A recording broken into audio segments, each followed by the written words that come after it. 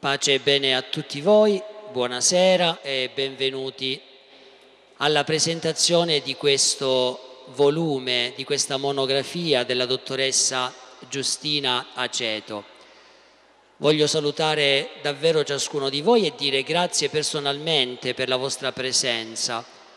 Voglio salutare anche i presidenti delle varie associazioni che eh, hanno avuto l'attenzione e la premura di essere qui questa sera. Saluto Don Giampiero Fiore, quale delegato di Sua Eccellenza Monsignor Francesco Nolè, il quale per un impegno sopraggiunto all'ultimo momento non potrà essere presente alla presentazione di questo volume della dottoressa Giustina Aceto e che eh, riguarda il nostro santo, Sant'Angelo d'Acri. Don Giampiero è delegato in quanto vicario aggiunto, sapete Don Sergio che è vicario foraneo è, fuori e quindi Don Giampiero è colui che sostituisce Don Sergio in questo, in questo momento, quindi proprio per questo è delegato Don, Don Giampiero. Saluto le nostre sorelle presenti e saluto l'autrice del libro, la dottoressa Giustina Aceto, che con molto entusiasmo con, molto, con molta ansia anche questa sera, per la prima volta presenta un libro, eh, diciamo, inedito, scritto di tutto suo pugno, se non erro, completamente. Aspettavamo anche il sindaco di Acri e il sindaco di Bisignano che non sono oh, diciamo, presenti e che non hanno fatto avere notizia e allora noi direttamente procediamo con la presentazione dell'autrice. La dottoressa mi ha chiesto di non presentare nessun tipo di curricula suo, ci teneva a, a, a rimanere quasi una di noi.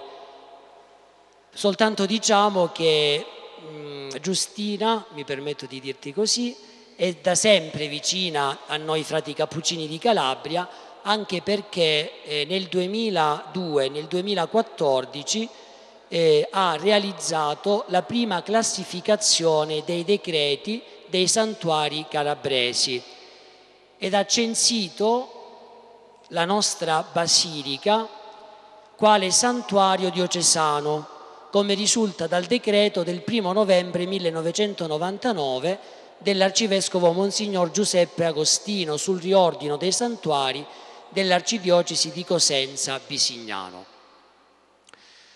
Il volume che molti di voi hanno già tra le mani è stato commissionato da noi frati eh, nel 2014.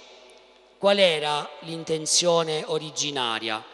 Era quella di eh, scoprire, di portare alla luce altro materiale che riguardasse il nostro Angelo Dacri, materiale che è diffuso, abbiamo eh, scoperto, abbiamo capito, in tutta Italia, quindi può darsi che ancora ci sia del materiale che noi non conosciamo. Certamente per le scoperte che abbiamo fatto ci siamo resi conto che era possibile effettuare una pubblicazione e questo compito noi l'abbiamo dato alla dottoressa Giustina Aceto. La ricerca, grazie alla sua volontà e alla sua tenacia, ha riscontrato del materiale inedito. Io vi, vi dico soltanto tre di questi materiali inediti, che sono quelli più importanti a mio avviso. Anzitutto abbiamo il miracolo che Sant'Angelo ha compiuto a Sant'Andrea di Conza in provincia di Avellino a favore di Pasquale Bozzone e questo miracolo è certificato da un atto notarile del 26 dicembre 1796. Poi è stato ritrovato il quadro utilizzato per la beatificazione di Angelo Dacri il 18 dicembre 1825. Questo quadro è stato realizzato da un pittore eh, siciliano, Francesco Manno, il quale per la beatificazione in realtà ha anche, eh, diciamo così, composto quattro ovali che sono stati esposti nella chiesa dei frati minori cappuccini in via Veneto a Roma, dove il 17, 18 e 19 giugno del 1826 è stato celebrato in modo solenne l'evento della beatificazione di Angelo Dacri. Si parla, e lo potete leggere poi nel libro, di festeggiamenti molto solenni. La chiesa dei Cappuccini di Via Veneto era addobbata con parati in oro e per tre giorni sono state effettuate celebrazioni liturgiche in onore del nuovo beato dell'ordine dei frati minori cappuccini. Il quadro è attualmente custodito nella chiesa di Via Veneto, Santa Maria Immacolata Concezione, ed è una cappella segreta che custodisce il quadro. Vi do una chicca. Noi il giorno prima della canonizzazione in questa cappella abbiamo celebrato la Santa Messa e questa cappella è posta proprio sulla sinistra dell'altare in cui noi abbiamo celebrato eh, l'Eucarestia il 14 ottobre. Quindi l'abbiamo visto, è un quadro bellissimo e il quadro ha dato il titolo al volume della dottoressa, Il Santo Cappuccino. Poi la dottoressa ci spiegherà eh, diciamo, anche i dettagli. E con questa occasione ringrazio anche padre Rinaldo Cordovani che ha realizzato la presentazione del libro ed è colui che eh, nel lavoro eh, su Roma ha aiutato eh, la dottoressa e estendo anche il ringraziamento a tutta la provincia dei frati minori cappuccini di Roma. L'ultimo inedito invece riguarda quattro bozzetti che sono stati consegnati a me personalmente nel mese di gennaio. È una donazione che una famiglia di Bisignano ha fatto al convento di Acri. Sono quattro bozzetti realizzati in tempera, commissionati dai frati cappuccini di Genova, sempre in occasione della beatificazione di Angelo d'Acri. Sono stati commissionati nel 1826 orientativamente nel mese di agosto. Noi ne eravamo completamente all'oscuro e riportano questi quattro bozzetti che voi potete ritrovare poi intorno alla fine del libro, eventi della vita del nostro Angelo Dacri. Sono stati donati al convento e saranno poi esposti nel nostro museo quando vedremo la, la fine la conclusione dei lavori del nostro museo. L'autore di questi quadri attualmente è ignoto, però diciamo, noi ci siamo ehm, anche preposti ulteriori ricerche e ulteriori studi su questi bozzetti, così come eh, diciamo, alla dottoressa questa sera diamo anche, dato l'enorme interesse che ha suscitato questo quadro, diamo anche mandato di continuare le ricerche sul nostro Angelo Dacri. Angelo Dati non finisce mai di stupirci perché eh, ogni volta che ci mettiamo alla ricerca e ogni volta che iniziamo un'opera per lui si aprono tante strade, si spalancano tante porte e quei lavori che sembrano assurdi, quei lavori che sembrano complicati, insormontabili, diventano di una facilità estrema. La dottoressa ne ha fatto esperienza, noi tutti ogni giorno nella nostra vita ne facciamo esperienza. Quindi questo è eh, il proposito che noi vogliamo farci anche per l'avvenire. Chiunque di noi venisse a conoscenza di immagini, di bozzetti, di dipinti, di tutto ciò che riguarda di statue, come la statua che eh, visiteremo poi a Maratea anche domenica, qualsiasi cosa riguarda il nostro santo, non esitate a darci riferimento di queste notizie, perché rimangono delle notizie storiche di cui noi ci dobbiamo appropriare per eh, diciamo, anche diffondere il culto. Tutto questo serve non soltanto per avere notizie su Angelo Dacri, ma anche per la devozione e per il culto. Io mi fermo qui al momento, do la parola alla dottoressa Giustina Ceta, la quale ci illustrerà tutto il lavoro che ha compiuto e già da adesso, dottoressa, le dico grazie per tutto quello che ci dirà, per come ce lo dirà e per la devozione e soprattutto per il grande entusiasmo che ha impiegato nel realizzare questo lavoro.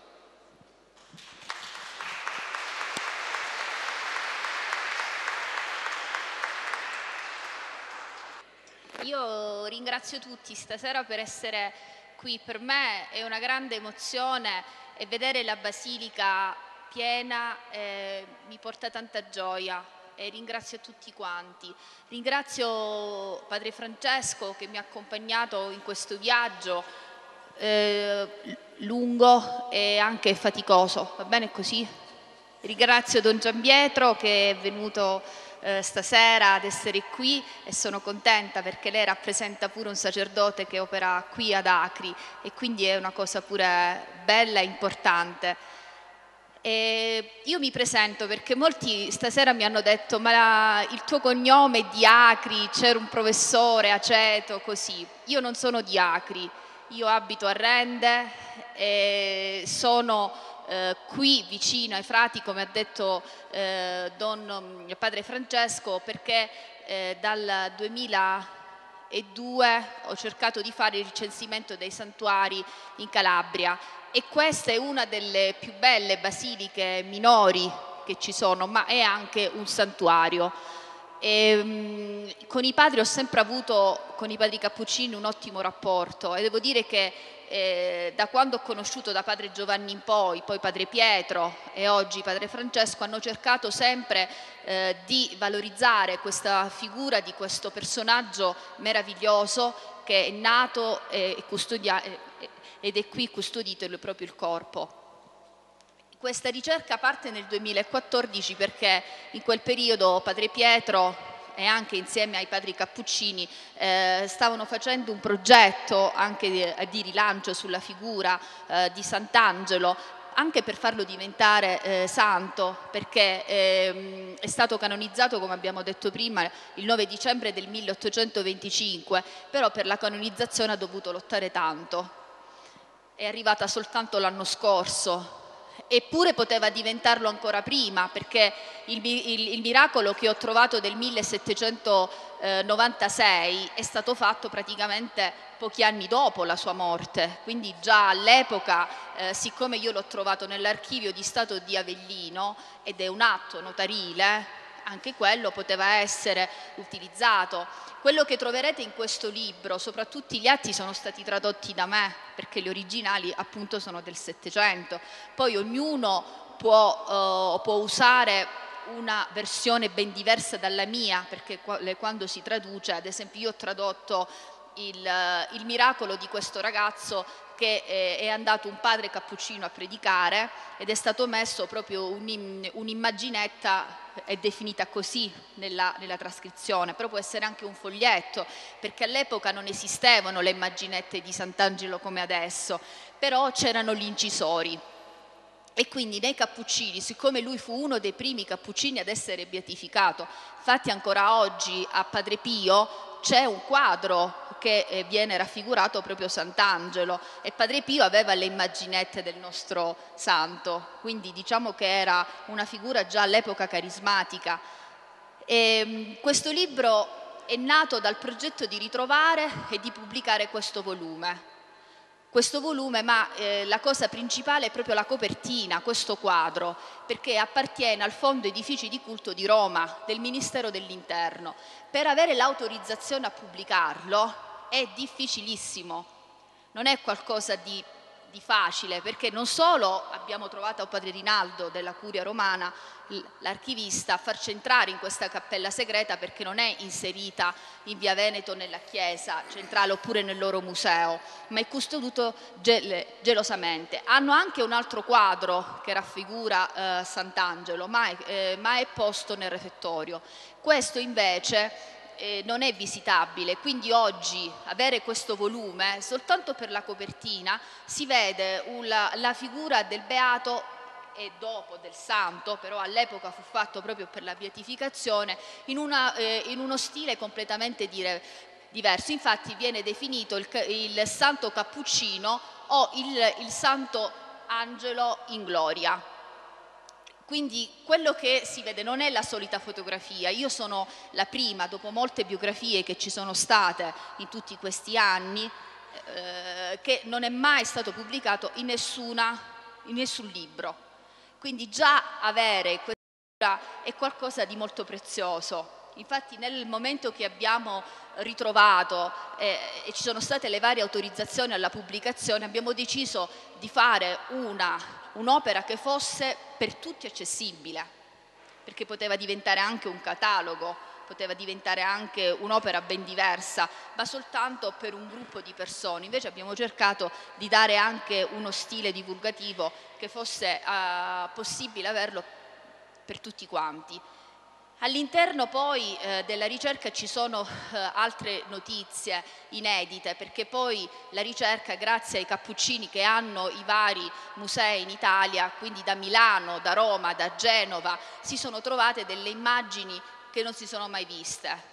Non si sono mai viste che all'interno sono anche dei bozzetti, perché poi questo della beatificazione furono proprio perché non sta ad Acri questo quadro, perché all'epoca, siccome la congregazione dei riti, dei, dei santi, fu commissionato da qualcuno dei padri a questo grande pittore, perché questo pittore, eh, che era di origine palermitana, erano tre fratelli, Vincenzo, Antonio e Francesco ed erano molto importanti in quei periodi, infatti facevano parte dell'Accademia prestigiosa di San Luca, ma erano oh, dei grandi artisti di merito, infatti venivano definiti di merito, non erano i soliti soci. Quindi i padri cappuccini, per commissionare un quadro tanto costoso, che poi non era solo uno, perché questo è quello del triduo della beatificazione, però ad oggi non si trova eh, l'arazzo, che era stato inserito proprio a San Pietro, altri quattro quadri e una statua anche di, eh, del Beato Angelo, perché eh, grazie alla traduzione che troverete qui dentro proprio dalla, dall'archivio di Roma eh, dei padri cappuccini, c'è questa grande festa perché poi fu questo triduo del 16-17 giugno 1826 e questo grande veramente processione di persone che andavano da Via Veneto, Piazza Barberini, Piazza di Spagna, quindi non era un personaggio che non era conosciuto, ma era molto amato. Infatti questo Francesco Manno poi si faceva aiutare da un incisore che eh, si chiama appunto Moghetti.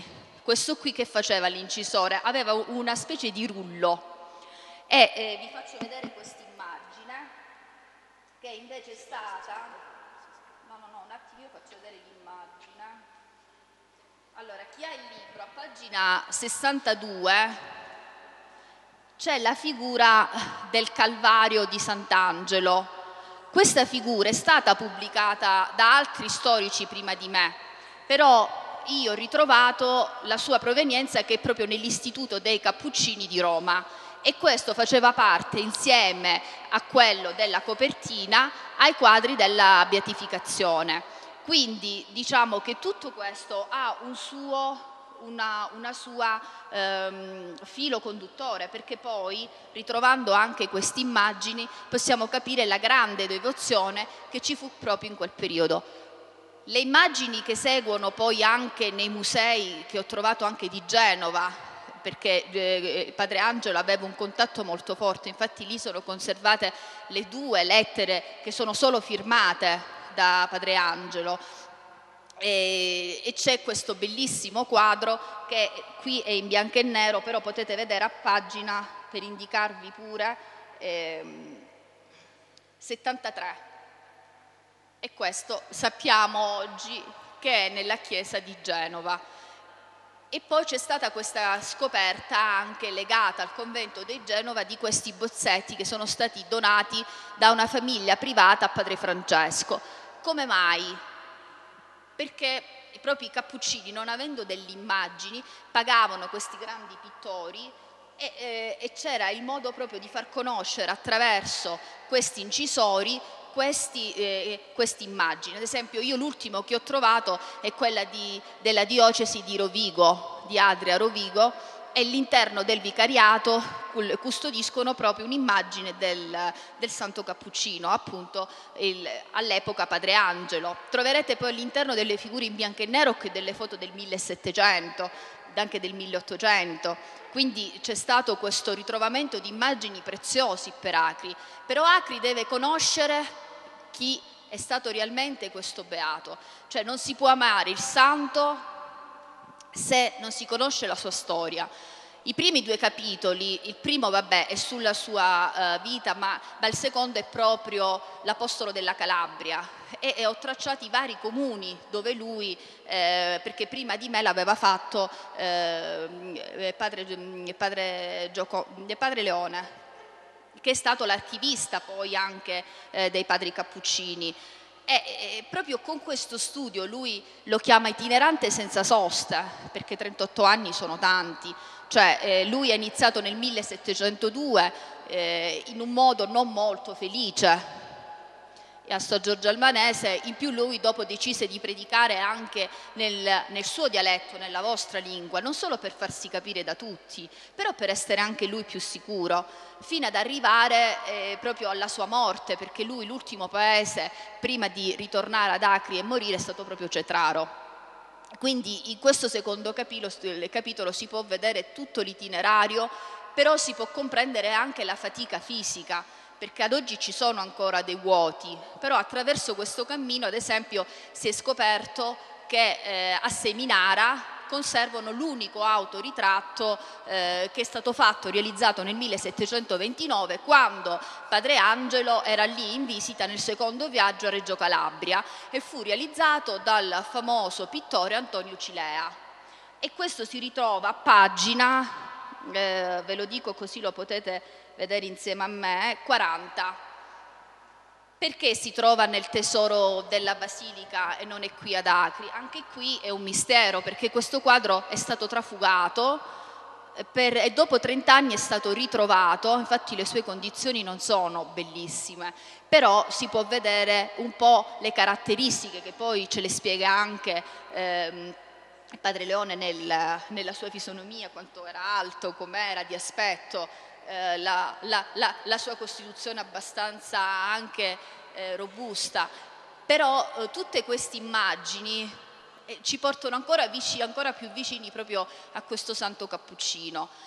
Il viaggio si conclude con Maratea, eh, Maratea dove eh, proprio Sant'Angelo lui ehm, andò a predicare tra, tra predica, San Viaggio, tra quaresimali e missioni per sette volte. È stato molto difficile eh, visitare questa statua perché la devozione anche dei padri a Maratea prima era molto forte, ma sono un po' di anni che non ho, e quindi domenica si ritornerà e sarà veramente una, una bella occasione.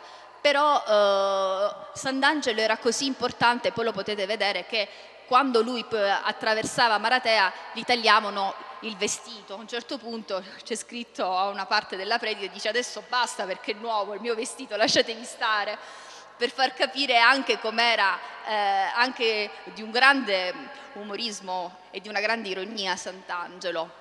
Maratea eh, è rimasta l'unica statua conservata ed è conservata nella chiesa di, di Sant'Antonio da Padova dei Cappuccini che non esistono più perché questa chiesa appartiene alla sovrintendenza di Potenza e viene aperta esclusivamente il 13 di giugno perché Maratea ha 33 chiese e vi è un unico eh, collaboratore praticamente, sono, saranno uno o due con Donato. o, o, oppure amministratori come vengono definiti loro. Comunque questa statua grazie all'autorizzazione della diocesi di Tursi Lago Negro e anche alla, eh, eh, alla sovrintendenza di Potenza siamo riusciti non solo a metterlo sul volume la troverete a pagina nella sezione nelle tavole a colori eh, subito dopo ed è a pagina 109 e anche questo è un'altra eh, occasione per riscoprire un'altra statua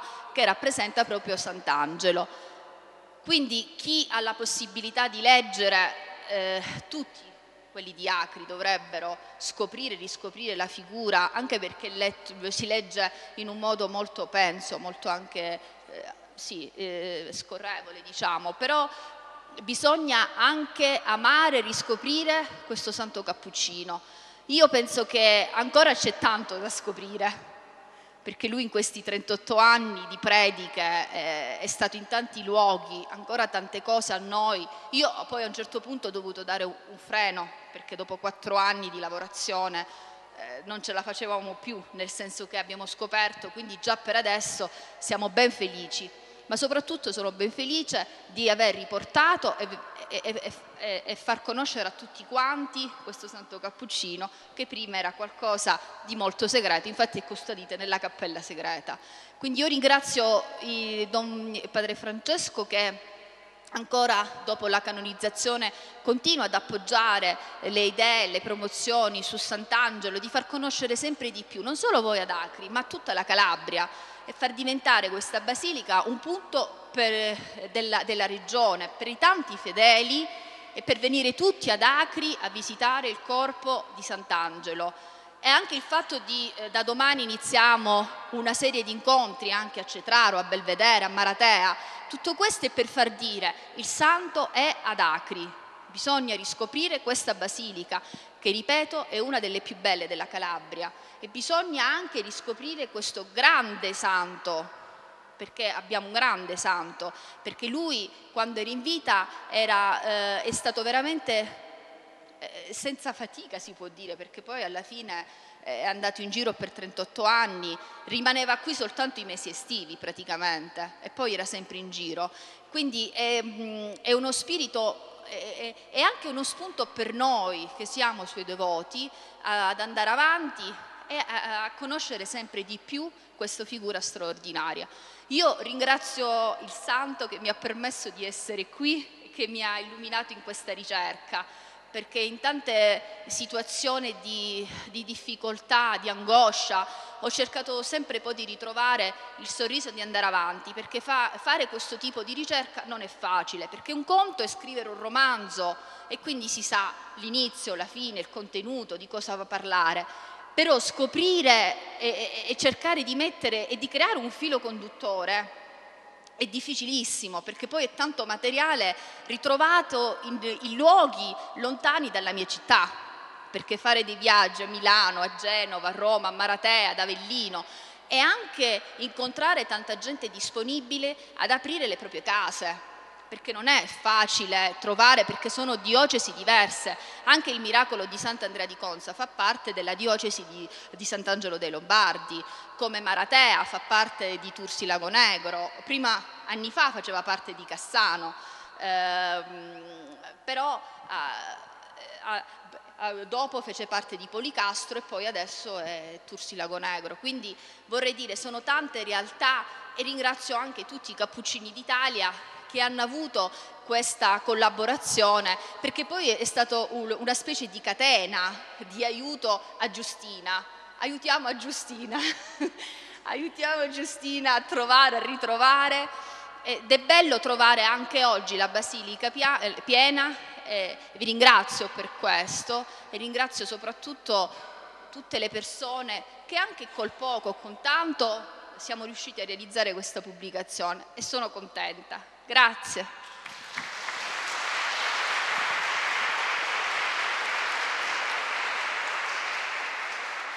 Domani sera presenteremo il volume a Cetraro, sabato sera lo presenteremo a Belvedere, domenica sera, subito dopo la celebrazione eucaristica, lo presenteremo a Maratea, l'8 maggio il libro sarà presentato a Roma dalla dottoressa, sì, aggiunge la dottoressa.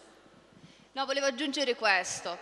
Allora, in occasione di questa manifestazione che si farà a Roma l'8 maggio, eh, Padre Rinaldo, eh, mettendosi d'accordo col Ministero dell'Interno, eh, farà vedere il quadro a chi presente, quindi lo prenderà dalla cappella segreta perché questa cappella c'è prima di passare c'è la tomba di San Giustino, questo, diciamo, questi padri sono sempre stati abbastanza resti a far vedere questo quadro così importante per loro, però io eh, all'epoca entrai perché proprio per il nome Giustina, Giustino fu collegato, lui disse ti manda San Giustino, quindi ho detto è la prima volta di essere contenta di portare anche questo, questo nome, mi ha permesso anche di censirlo. Quindi per tutti coloro così eh, che possono ammirare questo quadro, l'8 maggio, chi ha delle persone anche di Acri, possono venirlo a vedere perché è nella sala multimediale, quindi è anche una cosa in più per farlo vedere dal vivo. Scusate così. Quindi avremo queste presentazioni, poi penso che se ne aggiungeranno altre sul territorio di Calabria. Noi stiamo pensando di fare una capatina a Catanzaro, la città di Cosenza, ci spingeremo eh, verso Reggio Calabria, insomma stiamo cercando di fare, di fare una, un'itineranza eh, per tutta la Calabria, così come durante la canonizzazione abbiamo eh, pensato bene di eh, invitare tutti i vescovi della Calabria perché conoscessero la figura di Sant'Angelo e oggi stiamo avendo eh, risposte da parte dei vescovi che nelle diocesi stanno iniziando ad invitarci per portare le reliquie, così con la presentazione del volume, quindi con la monografia, con le altre eh, bibliografie che noi abbiamo di Sant'Angelo le sue biografie, i suoi testi, stiamo cercando sempre di più di diffondere eh, la conoscenza del santo, che è già di per sé ha una buona base di conoscenza anche nella Calabria e soprattutto nei paesi limitrofi ad Acri. Però dobbiamo spinger, spingerci oltre, dobbiamo andare oltre i confini. Anche questa uscita verso Maratea eh, ci porta ad andare oltre i nostri confini. Questo lo dobbiamo fare tutti, nessuno è esente e soprattutto, diceva bene la dottoressa, ci dobbiamo documentare perché io quello che sto scoprendo è che molto spesso tutti i pellegrini che stanno venendo a fare visita conoscono più cose di noi del nostro santo, perché se noi dovessimo chiedere ad una crese qualcosa sulla vita di Sant'Angelo, eccetto le notizie proprio base, le notizie più importanti, forse in profondità la spiritualità, eh, il suo modo di essere, il suo modo di fare il frate, di essere sacerdote, la sua predicazione a pieno noi non la conosciamo. Allora iniziamo questo lavoro che diventa un lavoro innanzitutto per la nostra anima, perché diventa eh, spirituale, eh, diciamo, immagazzinare tutte le notizie che riguardano il nostro santo. Poi ci mettiamo sulla scia della santità e soprattutto andiamo a scoprire la grande opera di evangelizzazione che ha fatto uno di voi, che ha fatto una persona che è partito da Acri ed ha annunciato il nome di Gesù per 38 anni 1702-1739. A me verrebbe da dire un predicatore infaticabile, instancabile, Angelo Dacri, che non, ha, non si è mai risparmiato di portare il nome di Acri, innanzitutto, di portare il nome di Gesù ovunque si è presentato, perché lui ha sempre indicato Gesù crocifisso, un Gesù risorto che cammina con noi, che ci guida, soprattutto che si fa nostro compagno di viaggio. Allora di questo noi dobbiamo essere orgogliosi, dobbiamo essere orgogliosi di avere un concittadino santo e dobbiamo essere orgogliosi che tanta gente guarda e cerca di vivere la spiritualità di Angelo Dacri. Non sono i numeri che ci devono interessare, a noi interessa la qualità quando noi diamo una qualità spirituale e le persone che vengono qui incontrano Angelo Dacri si innamorano della sua spiritualità, quello è l'obiettivo pieno che abbiamo raggiunto, fosse anche una persona, perché la conversione noi non sappiamo come avviene di una persona. Vi voglio raccontare questo episodio che non ho mai raccontato. Quando c'è stata Rai 1 qui presente, sono venuti dei giovani che erano coloro i quali erano addetti per l'allestimento delle telecamere, il montaggio delle, eh, diciamo di tutte le transenne che servivano, delle alzate. E c'è stato un giovane che si è avvicinato all'urna di Sant'Angelo. Il secondo giorno è venuto e mi ha detto, Padre Francesco, io mi vorrei confessare. E si è confessato questo giovane. Era la prima volta nella sua vita che si accostava al sacramento della riconciliazione e aveva 26 anni. perché ha sentito davanti all'urna il cuore che gli si stringeva e la necessità di confessare, di riconciliarsi con il Signore. Questa è la santità. La santità non è altro. Angelo Dacri, anche per una persona che viene e scopre Gesù Cristo, ancora sta predicando, ancora sta annunciando. E adesso do la parola a Don Giampiero che trae le conclusioni, anche se... Credo che dopo tutte queste cose belle che si sono dette, non eh, mi rimane che di nuovo portarvi i saluti a lei e a tutti del padre arcivescovo che purtroppo, come abbiamo detto, per un improvviso impegno non ha potuto essere presente. Mentre ascoltavo la dottoressa, pensavo al... ci ha regalato un cammino che ha fatto, perché scrivere è un cammino non si cammina con i piedi, ma si cammina con il cuore, con l'intelligenza. E pensavo ai passi di Angelo Dacri, mentre raggiungeva queste, queste zone dove andava a predicare. E mi veniva in mente ciò che leggiamo nella Bibbia, beati i passi di coloro che sono portatori di pace. La santità è l'uomo di pace, non delle paci, della pace. E Angelo Dacri e Santo Acri sta vivendo un tempo di grazia, Angelo Dacri, Francesco Maria Greco, altre tante figure belle di quella santità fatta di, di quotidiano. Angelo Dacri anche per la nostra diocesi è un esempio, è stata una gioia la sua eh, canonizzazione non solo Acri ma tutta la diocesi, tutta la Calabria, c'è stato un fermento, c'è stato quasi un respiro nuovo, c'è stata la capacità di noi uomini ancora di guardare il cielo, perché la santità è quando il cielo sulla terra sa produrre l'umanità. Angelo Dacri ci parla di questa umanità, dell'umanità toccata da Dio. Angelo Dacri è stato un predicatore, lei diceva ha iniziato sbagliando, poi ha capito che doveva iniziare amando, con un linguaggio fattibile, un linguaggio che attacca, subito fa comunione e parlava in dialetto. E Angelo Dacri riesce a raggiungere il cuore dell'altro. Che cos'è la santità? Tante volte noi pensiamo che la santità è la perfezione. Sì, è la perfezione dell'uomo, è l'umanità è l'umanità perfetta, cioè capace di lasciarsi abitare da Dio. Angelo Dacre ha questa capacità. E oggi Angelo ci parla, è vero, converte i cuori, converte ancora noi sacerdoti che veniamo qui anche tante volte in silenzio la mattina a pregarlo per il nostro ministero, aiuta la nostra diocesi, il suo cammino, ma Angelo Dacri ancora continua con i suoi frati, questa bellezza di Dio. E qui vorrei ringraziarli frati, qui ci vuole un grande applauso, perché con il loro quotidiano impegno non solo sono una porta aperta, non solo sono una strada da percorrere, ma sono un cuore da incontrare e volti ogni giorno da, da vivere.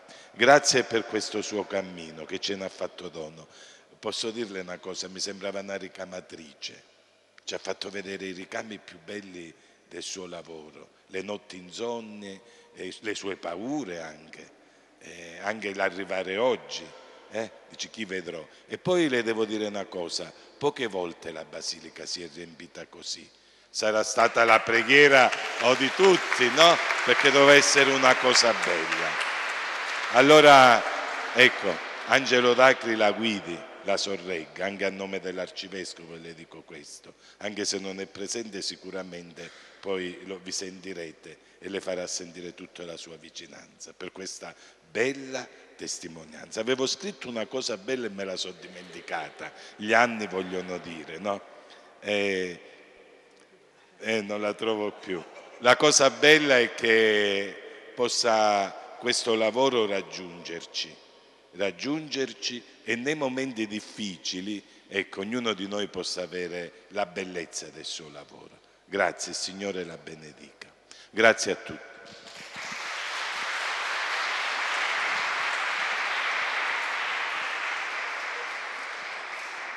Grazie a tutti di cuore, veramente. Sono contento che abbiate... C'è qualcuno che vuole fare qualche domanda alla dottoressa sul testo, sul libro? Penso che è stata molto chiara la dottoressa, quindi insomma... Poi magari ti incontreremo un'altra volta dopo averlo letto, così lo leggiamo, tutto... Sì, noi siamo qui, se qualcuno vuole fare qualche intervento,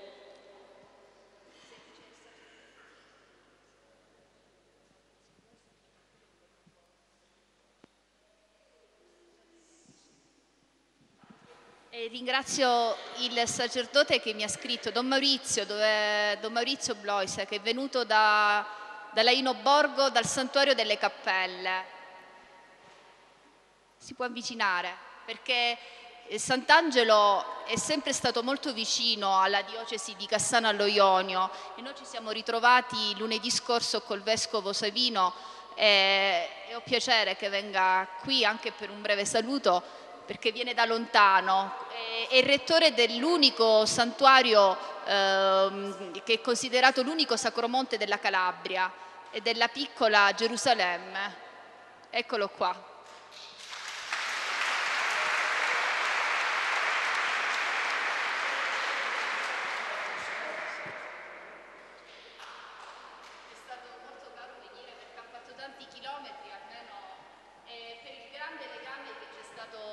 Con oh, Sant'Angelo Coccassano, infatti ultimamente siamo andati a vedere la statua che nel 2014 è stata posta proprio dai padri Cappuccini e che, e che Papa Francesco ha benedetto ehm, nella sua visita quando? Il 21 giugno 2014 appunto, quindi io ho grande piacere perché è un altro rettore di un santuario che si avvicina al nostro santo, quindi è una cosa bella, grazie. Sarò anch'io telegrafico, ringraziando intanto per l'invito che mi è stato rivolto a me caro Sant'Angelo d'Acri perché nella mia parrocchia di origine, Cassanalionio, quartiere Cappuccini, ecco, abbiamo e conserviamo una reliquia di Sant'Angelo. A Cassano ha ricevuto gli ordini, il diaconato e così via e poi si è aperto insomma, ecco, già alla, al sacerdozio e alla missionarietà Porto anche i saluti di Monsignor Savino e Monsignor Renni, il parroco di San Francesco d'Assisi, parrocchie per motivi di salute e così via. Ha voluto Silvio Renne. Ecco. È molto bello allora questo viaggio, fare dei chilometri. Pensavo al santo e pensavo a me con la macchina, che grande abisso lui andava a piedi, ecco, io invece do, dovrei imitarlo per, per questioni anche eh, corporee. A parte le battute, anch'io non ho ancora preso dimestichezza con il testo, però la testimonianza, la presenza e in un momento favorevole anche la settimana, mi permetto di aggiungere a quello che già si diceva sulla santità, sulla Gaudete ed Exultate di Papa Francesco domenica scorsa, la domenica del buon e bel pastore, penso che ci sta proprio a pennello, come si suol dire in gergo. Complimenti eh, ancora per questa opera, Giustina, e tutte le altre che vorrai ancora regalarci, eh, trascinandoci ecco, in questi viaggi di santità, di, mm, di vissuto di studio, di ricerca, di conoscenza. Un grazie ancora anche per la parola datami. Grazie.